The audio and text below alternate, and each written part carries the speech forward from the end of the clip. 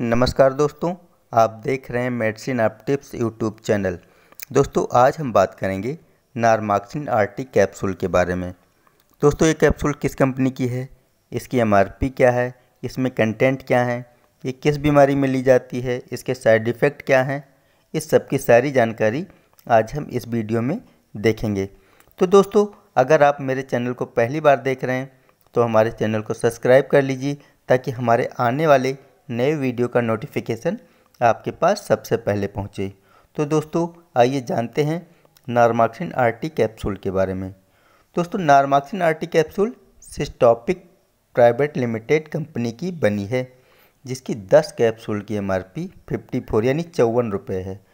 दोस्तों, इसके कंटेंट के बारे में बात करें तो rabeprazole sodium dicyclomine hydrochloride clidinium bromide और क्लोराडाइजिपाक्साइड है। दोस्तों अब जानते हैं कि ये दवा किस कंडीशन में हमें लेनी चाहिए।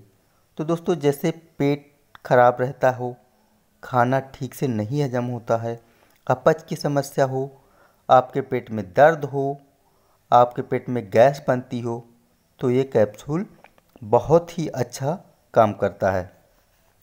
दोस्तों, किसी भी प्रकार की गैस बनती हो या डाइजेशन ना ठीक रहता हो या पेट में दर्द रहता हो तो ये कैप्सूल बहुत अच्छा रिस्पांस देता है। दोस्तों, आइए इसके डोज के बारे में बात करें। तो ये सुबह और शाम, यानी खाली पेट लेनी चाहिए। इस दवा को जब भी लें तो सुबह शाम खाली पेट ही लें। दोस्तों, आइए इसके साइड इफ़ेक्ट के बारे में बात करें। तो जैसे सर दर्द होना या थकान होना तो दोस्तों, इस प्रकार के साइड इफ़ेक्ट अगर आपको दिखें तो आप तुरंत अपने डॉक्टर से संपर्क करें और इस दवा को बंद कर दें। तो दोस्तों, जैसे कि मैं अपने हर वीडियो में बताता रहता हूँ कि आप कोई भी अंग्रेज़ी दवा यदि आपको लेनी है तो आप अपने डॉक्टर की सलाह पर ही लें। बिना डॉक्टर की सलाह पर कोई भी अंग्रेज़ी दवा यूज़ ना करें। थैंक यू दोस्तों।